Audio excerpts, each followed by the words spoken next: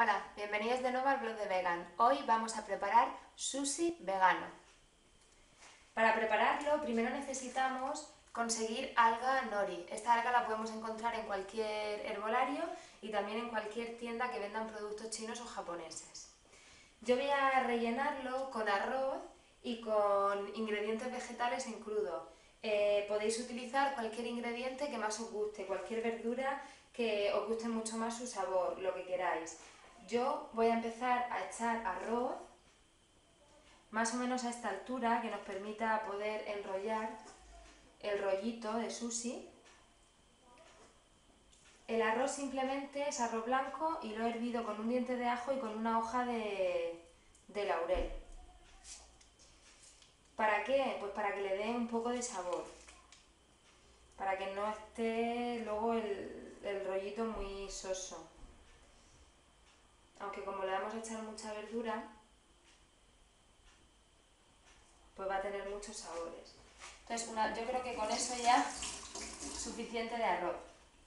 Lo que le voy a echar ahora es un poquito de pimiento verde. El pimiento verde lo he cortado en juliana. Entonces voy a ponerlo así, suficiente, y un poquito de calabacín. El calabacín lo he rayado con el, con el pelador. Y le podemos echar bastante porque está muy fino, entonces para que podamos apreciar el sabor hay que echarle bastante. Y también un poco de zanahoria. Es importante que esta receta, una vez que tenéis pelada la zanahoria, la hagáis cuanto antes, porque se oxida la zanahoria muy rápido. También vamos a echar aguacate.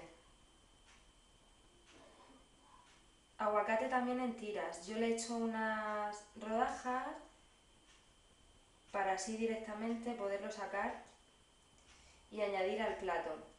El aguacate también se oxida muy pronto, así que una vez que mm, tengamos pensado preparar la comida, pues que el proceso de elaboración hasta que nos sentemos a comerlo sea rápido, porque el aguacate ya, ya os digo que, que se oxida muy pronto. Con esto es suficiente. Si quisiéramos, también podríamos añadirle un poquito de maíz. Yo ya que tengo el bote abierto, voy a echar un poco.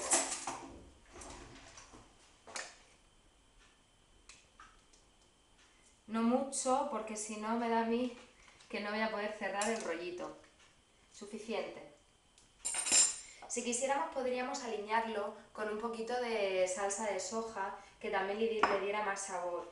Em, yo personalmente prefiero poner eh, el bote o en un cuenco echar un poquito de salsa de soja para que sea al gusto, para que la persona que, quiera echarle le eche y aquella que no le guste la salsa de soja, puesto que tiene también un sabor muy fuerte, pues no le eche.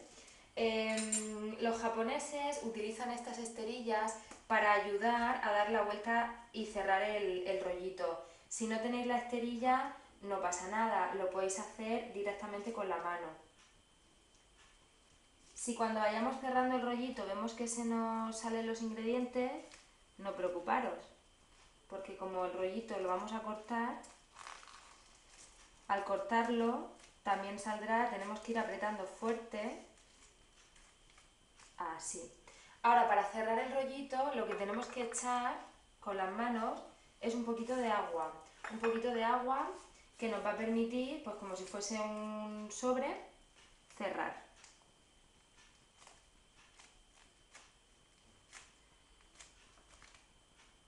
Ya está. Y ahora retiramos la esterilla. Lo que vamos a hacer es cortarlo en rodajas para poderlo servir en el plato. Eh, es bueno utilizar un cuchillo de sierra porque yo lo he probado con uno liso y cuesta un poco. Mojamos el cuchillo para cortarlo porque si no el alga se pega y también cuesta.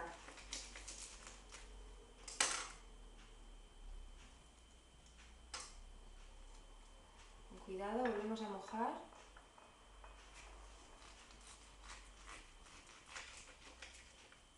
Ha salido mejor. ¿Veis? Lo voy poniendo en el plato para enseñaroslo ahora cómo ha quedado.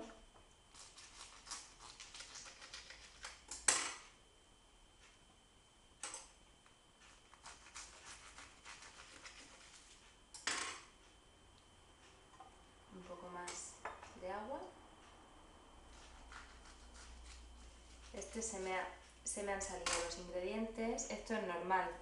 Hay que cogerle el truco, pero más o menos así quedaría nuestro plato. Entonces, todo esto lo retiro.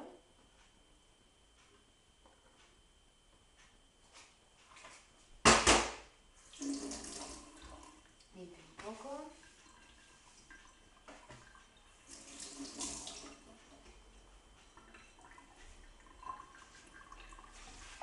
Y aquí están. Lo que voy a hacer también para la presentación del plato es añadir pues un poquito de, de hoja verde, que nunca viene mal. Nos acompaña a modo de ensalada y hace que el plato sea mucho más completo.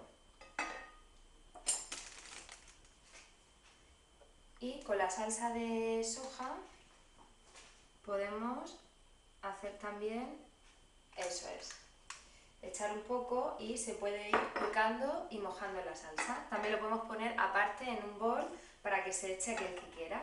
Y bueno, pues así ha quedado nuestro sushi vegano y bueno, como ya sabéis le podéis echar todos aquellos ingredientes que más os gusten. Espero que os haya gustado la receta y nos vemos aquí en el blog de Vegan en la próxima receta de cocina.